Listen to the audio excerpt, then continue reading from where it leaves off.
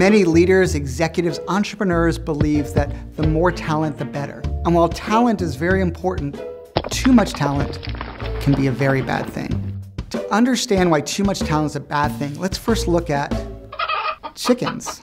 Now, if you're a chicken producer, more eggs produces more profit. So what you naturally do is find the high egg producing chickens and breed for those chickens. But poultry farmers discovered an incredibly surprising finding. If they get all the high egg producing chickens together, egg production doesn't go up, it actually goes down. It turns out that the high egg producing chickens also happen to be the most competitive and dominant chickens. You get all these chickens together in one coop, and what do they do? They start fighting over food and territory, and they start pecking each other literally to death.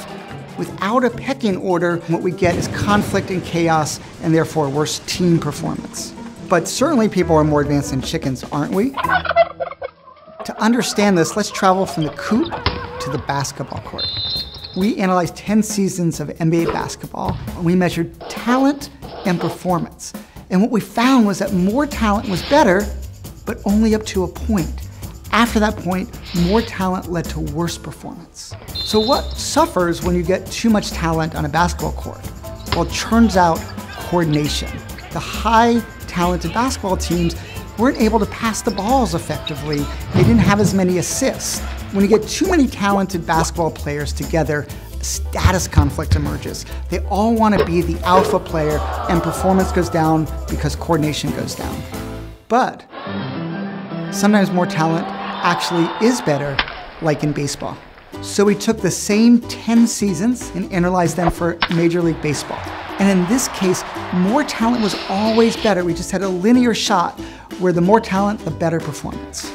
Someone once called baseball an individual sport masquerading as a team sport. What that means is you don't need that much coordination in baseball. Batters bat sequentially in a fixed order. Each fielder has some domain over their own part of the field, and because baseball doesn't require a lot of coordination, we never get a too much talent effect. We get a more talent is always better effect.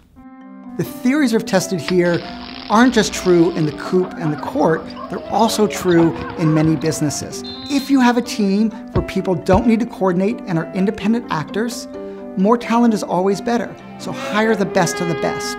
However, if you have a team in which its members must coordinate, hire a range of talent in order to produce the greatest success.